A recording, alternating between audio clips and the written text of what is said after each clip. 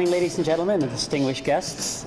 During the early years of the 20th century, a man named William Allen, who was born in 1882 and died in 1945, lived in Barriefield. Known as Dollar Bill, he operated a bootlegging service there to thirsty Americans and locals alike.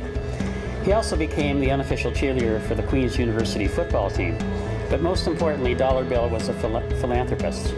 The story continues in the 1970s where a group of individuals, including, including my friend Peter Lloyd, who is here today, opened the Dollar Bills Bar in the Prince George Hotel. Peter handled the bookings for the bar and he brought to Kingston the best of the Canadian and international touring bands of the time.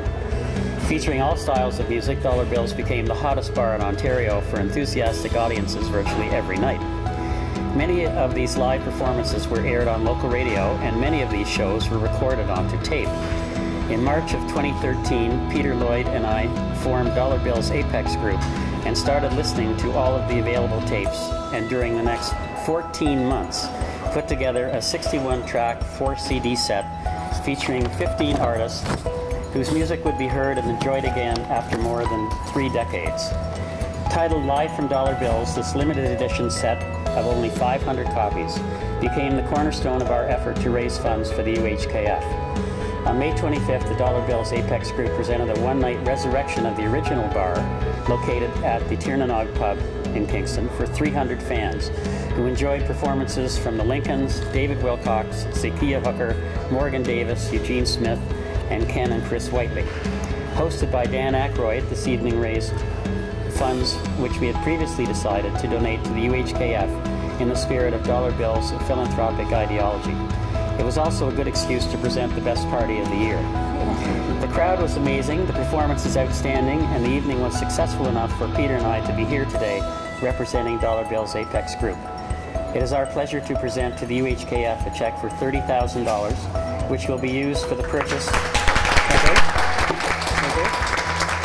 Um, which will be used for the purchase of an operating chair for the new skin cancer and dermatology clinic here at the Cancer Center.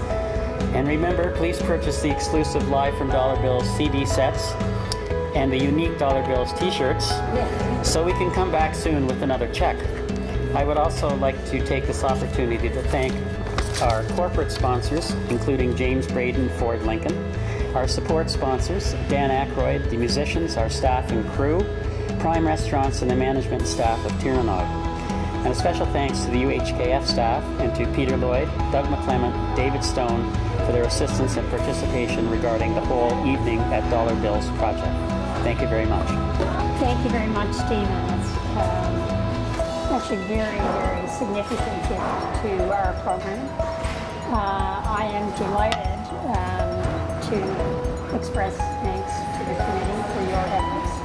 Uh, I'm a relative newcomer to Kingston, so I would not have had the opportunity to, in the day, uh, have experienced dollar bills, but in advance of this particular check presentation this morning, I was telling people uh, that I was uh, going to be receiving a check from your group, and I got lots of great stories about the day and about what it was truly like uh, to attend uh, the dollar bills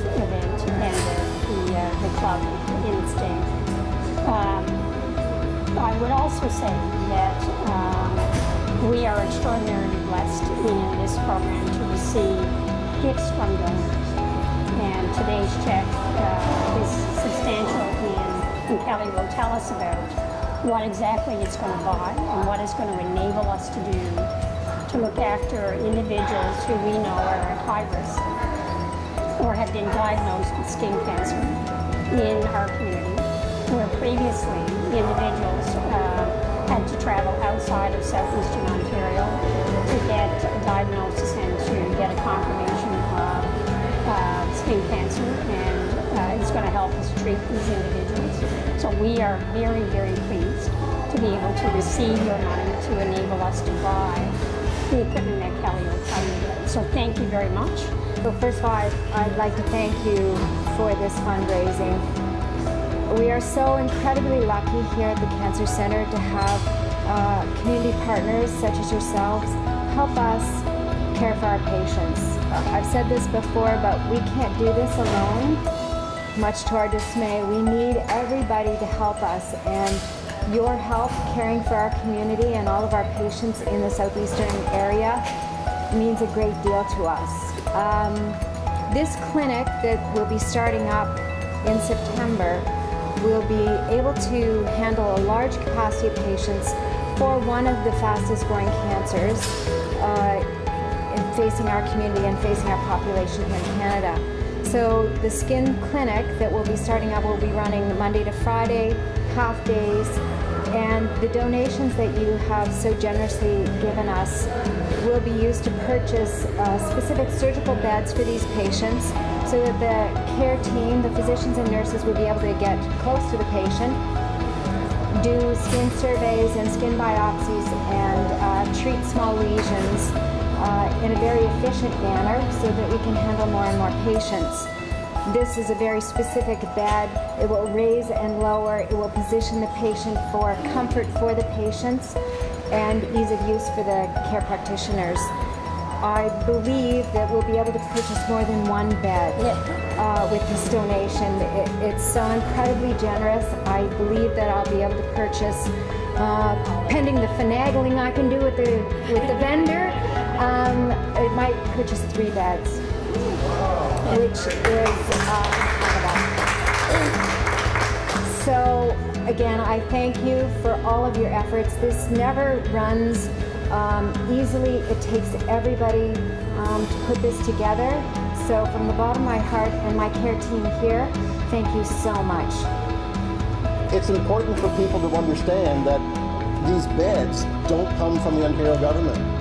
Um, hospitals are, are highly funded by the government, and we really appreciate that support. But it's up to our local community to raise money for the beds and for the equipment that we use. And so um, raising $30,000 is really significant, it, as you can see. You know, three beds. Uh, we all have cancer stories. Um, you know, it's, uh, it's a sad story, but it's a true story that, that's affecting so many of us. And skin cancer is one of those uh, areas that preventable if we can get people to uh, to cover up. Um, these these things are, are sun catchers, you know. Uh, but to cover up and, and to protect yourself uh, against the uh, the harmful effects of the of the sun. But for those of us who so many years ago got burned and burned and burned again. Um, we're going to end up needing some assistance uh, later on, and, and thankfully we can now do that in Kingston and we can do that with your help. So I really appreciate uh, this uh, incredible gift and, uh, uh, and look forward to the next venture. Thank you very much.